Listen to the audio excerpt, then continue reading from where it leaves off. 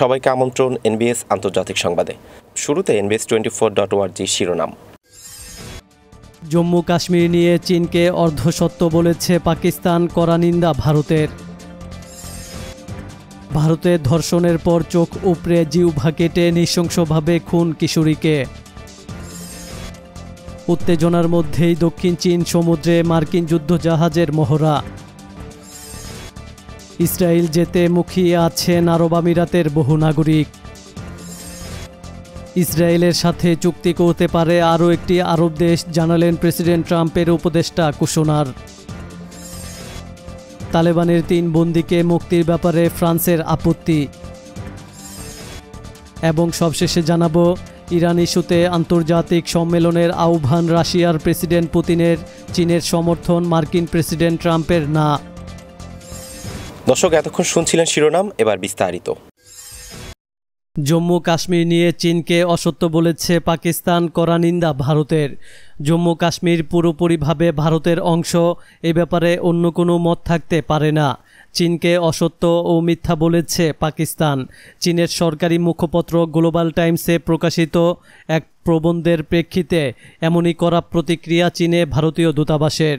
বৃহস্পতিবার ভারত জানিয়ে দিয়েছে, জম্মু কাশ্মীর নিয়ে কথা বলার অধিকার পাকিস্তান বা চীনের নেই, তা একান্তই ভারতের অভ্যন্তরীণ বিষয়।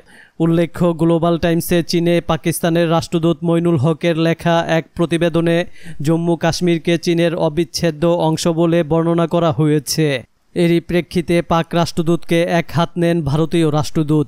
তিনি বলেন, জম্মু কাশ্মীর থেকে তিনশো সত্তর ধারা প্রত্যাহার করার পর থেকেই কিছু দেশের চিন্তা বেড়েছে, তবে তাতে ভারতের কিছু যায় আসে না। জম্মু কাশ্মীর নিয়ে চীন ও পাকিস্তানের মাথা ব্যথার কারণ নেই বলেও ভারতীয় রাষ্ট্রদূত জানিয়েছেন। এদিন চীনের ভারতীয় দূতাবাস থেকে এক সরকারি বিবৃতি প্রকাশ করা হয়। সেখানেই করা ভাষায় পাক ষড়যন্ত্রের তীব্র নিন্দা করা হয়েছে। গত বছরের জুলাই থেকে ডিসেম্বরের মধ্যে হত্যা করা হয় মাত্র উনত্রিশ জনকে। সেই মুহূর্তে জম্মু কাশ্মীর থেকে তিনশো সত্তর ধারা প্রত্যাহার করে নেওয়া হয়। তবে দুই হাজার উনিশ সালে সাতষট্টিটি অপারেশন চালিয়ে একশো ষাট জন স্বাধীনতাকামীকে এনকাউন্টার করা হয়। পুলিশের হিসেব বলছে দুই হাজার উনিশ সালে পাঁচ হাজারেরও বেশি বার এলাকা কর্ডন করে তল্লাশি চালানো হয়েছে। দুই হাজার বিশ সালে এখন পর্যন্ত একশো পঞ্চাশ জন স্বাধীনতাকামীকে এনকাউন্টার করা হয়েছে। একশো পঞ্চাশ স্বাধীনতাকামীর মধ্যে ৩০ জন বহিরাগত ও একশো বিশ জন স্থানীয় বাসিন্দা। এর মধ্যে রয়েছে উনচল্লিশ স্বাধীনতাকামী টপ কমান্ডার।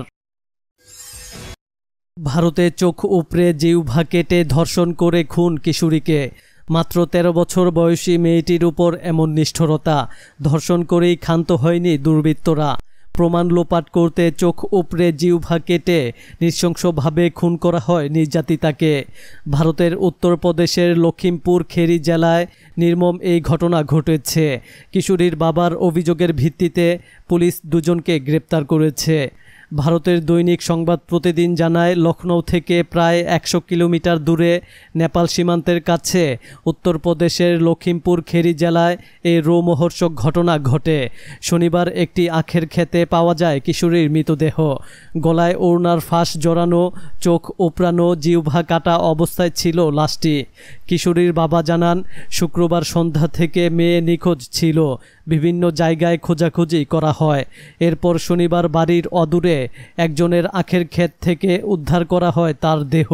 বাবার অভিযোগ, মেয়ের উপর যৌন নির্যাতনের পর গলায় ফাঁস লাগিয়ে প্রথমে খুনের পর চোখ উপড়ে জিউভা কেটে নেওয়া হয়েছে। মেয়ের এমন পরিণতি দেখে কার্যত দিশেহারা পরিবারের সদস্যরা। মেয়েটির বাবার অভিযোগের ভিত্তিতে দুজনকে গ্রেপ্তার করেছে পুলিশ। এই ঘটনায় নিন্দার ঝড় উঠেছে উত্তরপ্রদেশের বিরোধী রাজনৈতিক মহলে। বিএসপি নেত্রী মায়াবতী টুইট করে যোগী আমলে রাজ্যের নিরাপত্তা নিয়ে প্রশ্ন তুলেছেন। দক্ষিণ চীন সমুদ্রে মার্কিন যুদ্ধজাহাজের মহড়া। বিরোধপূর্ণ দক্ষিণ চীন সমুদ্রে মহড়া দিয়েছে যুক্তরাষ্ট্রের একটি বিমানবাহী যুদ্ধজাহাজ। শুক্রবার মার্কিন নৌবাহিনীর এক বিবৃতিতে জানানো হয়েছে, USS Ronald Reagan flight operation ও উচ্চ প্রযুক্তির সামুদ্রিক স্থিতিশীলতা বজায় রাখার মহড়া সম্পন্ন করেছে। যুক্তরাষ্ট্র ও চীনের মধ্যে উত্তেজনা চলতে থাকার মধ্যেই বিতর্কিত সমুদ্র সীমানায় মহড়া চালালো মার্কিন যুদ্ধজাহাজ। করোনা ভাইরাসের মহামারীতে চীনের ভূমিকা নিয়ে সমালোচনা অব্যাহত রেখেছে ওয়াশিংটন। যুক্তরাষ্ট্রের দাবি, মহামারী ব্যবহার করে বেইজিং, দক্ষিণ চীন, সমুদ্রসহ বিভিন্ন স্থানে নিজেদের আঞ্চলিক দাবি প্রতিষ্ঠিত করতে চাইছে। যুক্তরাষ্ট্র দীর্ঘদিন ধরেই দক্ষিণ চীন সমুদ্রে চীনের দাবির বিরোধিতা করে আসছে। কৌশলগতভাবে গুরুত্বপূর্ণ এই সমুদ্র এলাকায় নিয়মিতভাবে যুদ্ধজাহাজ পাঠিয়ে থাকে ওয়াশিংটন। শুক্রবারের মহড়া প্রসঙ্গে মার্কিন নৌবাহিনীর কমান্ডার জোসুয়া ফাগান বলেন যৌথ বাহিনীর কার্যকারিতা ও ধ্বংসক্ষমতা নিশ্চিত করতে এবং ইন্দো প্যাসিফিক উন্মুক্ত ও সচল রাখতে সহযোগীদের সঙ্গে সমন্বয়ের প্রয়োজন। তবে যুক্তরাষ্ট্রের এই মহড়ার বিরোধিতা করেছে চীন। বেইজিং বলছে, দক্ষিণ চীন সমুদ্রে চীনা দাবির বিরোধিতা করে এই অঞ্চলে যুক্তরাষ্ট্র উত্তেজনা বাড়াচ্ছে আর স্থিতিশীলতাকে হেয় করছে। দক্ষিণ চীন সমুদ্রের দশ ভাগের মধ্যে নয় ভাগেরই দাবি করে থাকে চীন। এই অঞ্চল দিয়ে প্রতি বছর প্রায় তিন লাখ কোটি টাকার বাণিজ্য হয়। তবে চীনের পাশাপাশি অঞ্চলটির কর্তৃত্ব দাবি করে থাকে ব্রুনাই, মালয়েশিয়া, ফিলিপাইন তাইওয়ান ও ভিয়েতনাম। এ খবর জানিয়েছে সংবাদ মাধ্যম আল জাজিরা। ইসরায়েল যেতে মুখী আছেন আরব আমিরাতের বহু নাগরিক। সংযুক্ত আরব আমিরাতের অনেক নাগরিক ইসরায়েল সফরের জন্য মুখিয়ে আছেন বলে জানিয়েছে ইসরায়েলের এক ইহুদি নেতা। ইসরায়েল ব্রডকাস্ট কর্পোরেশনকে ইহুদি সম্প্রদায়ের নেতা সুলিউলফ বলেন, আরব আমিরাতের ইহুদিরা ইসরায়েলিদের পেয়ে খুশি হবে। খুব শীঘ্রই তারা এ দেশ পরিদর্শন করবে বলে আশা করি। তিনি বলেন, আমিরাতের বহু নাগরিক ইসরায়েল সফরের জন্য সুযোগের অপেক্ষায় রয়েছেন। মার্কিন প্রেসিডেন্ট ডোনাল্ড ট্রাম্পের প্রচেষ্টার ফলশ্রুতিতে গত বৃহস্পতিবার ইসরায়েলের সঙ্গে কূটনৈতিক সম্পর্ক স্বাভাবিক করতে সম্মত হয় সংযুক্ত আরব আমিরাত। শীঘ্রই আরব আমিরাত ও ইসরায়েলি কর্মকর্তারা হোয়াইট হাউসে মার্কিন প্রেসিডেন্ট ডোনাল্ড ট্রাম্পের উপস্থিতিতে এই সংক্রান্ত আনুষ্ঠানিক চুক্তিতে সই করবেন বলে ঘোষণা করা হয়েছে। এ খবর জানিয়েছে সংবাদ মাধ্যম ইয়েনি সাফাক। ইসরায়েলের সাথে চুক্তি করতে পারে আরও একটি আরব দেশ। মার্কিন প্রেসিডেন্ট ডোনাল্ড ট্রাম্পের জামাই এবং তার উপদেষ্টা জারেড কোশনার বলেছেন, সংযুক্ত আরব আমিরাতের পথ অনুসরণ করে সম্ভবত আরও একটি দেশ ইহুদিবাদী ইসরায়েলের সঙ্গে সম্পর্ক প্রতিষ্ঠা করতে পারে। বিভিন্ন খবরে বলা হচ্ছে, সংযুক্ত আরব আমিরাতের পরে বাহরাইন, ওমান এবং সৌদি আরব সম্পর্ক স্বাভাবিক করার উদ্যোগ নিতে পারে।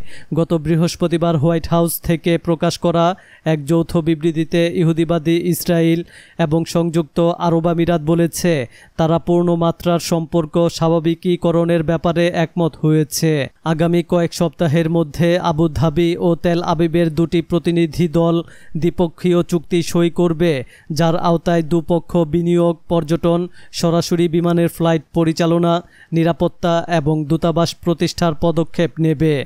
আমিরাত ও ইসরায়েলের মধ্যে চুক্তি হওয়ার পর সাংবাদিকদের সঙ্গে আলাপের সময় কুশনার বলেন, আমিরাতের পরে আরও একটি আরব দেশ চুক্তি করতে পারে। তালেবানের তিন বন্দীকে মুক্তির ব্যাপারে ফ্রান্সের আপত্তি। ফ্রান্সের কয়েকজন নাগরিককে হত্যা করার জন্য দোষী সাব্যস্ত তালেবান গেরিলাদের মুক্তি না দেওয়ার জন্য আফগান সরকারের প্রতি আহ্বান জানিয়েছে ফ্রান্স সরকার। শনিবার ফ্রান্সের পররাষ্ট্র মন্ত্রণালয় কাবুলের প্রতি এই আহ্বান জানায়। তালেবানের সঙ্গে শান্তি আলোচনাকে সামনে রেখে আফগান সরকার তালেবানের চারশো একনিষ্ঠ যোদ্ধাকে মুক্তি দিয়েছে। এসব বন্দীদের বিরুদ্ধে বহু বড় বড় হত্যাকাণ্ড ও অপহরণের গুরুতর অভিযোগ রয়েছে। ফ্রান্সের পররাষ্ট্র মন্ত্রণালয়ের বিবৃতিতে বলা হয়েছে, ফরাসি নাগরিক, বিশেষ করে ফ্রান্সের সেনা ও ত্রাণ কর্মীদেরকে আফগানিস্তানে হত্যার জন্য যেসব বন্দি দায়ী তাদেরকে মুক্তি দেওয়ার ঘটনায় প্যারিস উদ্বিগ্ন। এই ধরনের দাগি বন্দীদের মুক্তির ব্যাপারে প্যারিস কঠোর বিরোধিতা করছে। এসব বন্দিকে মুক্তি না দেওয়ার জন্য আমরা আফগান সরকারের প্রতি আহ্বান জানাব। পুতিনের আহ্বানে ইরান বিষয়ক সম্মেলনে যোগ দেবে না ট্রাম্প। যুক্তরাষ্ট্রের প্রেসিডেন্ট ডোনাল্ড ট্রাম্প বলেছেন, তিনি সম্ভবত রাশিয়ার প্রেসিডেন্ট ভ্লাদিমির পুতিনের প্রস্তাবিত ইরান বিষয়ক জরুরি সম্মেলনে অংশ নেবেন না। নিউ জার্সির ব্যাডমিনস্টার গলফ ক্লাবে এক সংবাদ সম্মেলনে ট্রাম্প বলেন, সম্ভবত আমি এতে যোগ দেব না, আমি নির্বাচনের পর পর্যন্ত অপেক্ষা করব ভাবছি। পুতিন শুক্রবার উপসাগরীয় অঞ্চলে উত্তেজনা হ্রাসে ইরান বিষয়ে সম্মেলন আয়োজনে জাতিসংঘ নিরাপত্তা পরিষদের স্থায়ী সদস্য এবং জার্মানির প্রতি আহ্বান জানিয়েছেন। পুতিন বলেন, চীন, ফ্রান্স, রাশিয়া, ব্রিটেন, যুক্তরাষ্ট্র, জার্মানি এবং ইরান এই ভিডিও সম্মেলনে অংশ নেবে। ক্রেমলিনের এক বিবৃতিতে পুতিন বলেন, এটি একটি জরুরি ইস্যু। রাশিয়ার মিত্র ইরানের বিরুদ্ধে অভিযোগ ছিল ভিত্তিহীন। একথা উল্লেখ করে পুতিন বলেন, জাতিসংঘ নিরাপত্তা পরিষদে ইরান ইস্যুতে আলোচনা জরুরি হয়ে পড়েছে। নিরাপত্তা পরিষদ শুক্রবার ইরানের উপর অস্ত্র নিষেধাজ্ঞা বাড়ানোর জন্য যুক্তরাষ্ট্রের উত্থাপিত প্রস্তাব সর্বসম্মতভাবে নাকচ করে দিয়েছে। এটি ইরানের পরমাণু চুক্তির ব্যাপারে একটি বিশাল ইতিবাচক পদক্ষেপ। রুশ প্রেসিডেন্টের এই প্রস্তাব সম্পর্কে চীনের পররাষ্ট্র মন্ত্রণালয়ের মুখপাত্র ঝাও লিজিয়ান বলেন, তার দেশ এই প্রস্তাবকে স্বাগত জানায়। তিনি বলেন, পরমাণু সমঝোতাকে ঘিরে রুশ প্রেসিডেন্ট উত্তেজনা কমানোর জন্য যে পদক্ষেপ নিয়েছেন তার প্রতি চীনের সমর্থন রয়েছে। বেইজিং সবসময় পরমাণু সমঝোতাকে সমর্থন করে আসছে এবং মধ্যপ্রাচ্যের শান্তি ও স্থিতিশীলতা রক্ষার জন্য আন্তরিক। ইরানের পরমাণু ইস্যুর রাজনৈতিক সমাধানের জন্য সংশ্লিষ্ট সব পক্ষের সঙ্গে চীন ঘনিষ্ঠ যোগাযোগ রাখবে বলেও লিজিয়ান উল্লেখ করেন। দর্শক, এই ছিল এখনকার মতো। আমাদের পরবর্তী সংবাদ দেখার আমন্ত্রণ জানিয়ে বিদায় নিচ্ছি আমি শফিউল আলম আরাফ।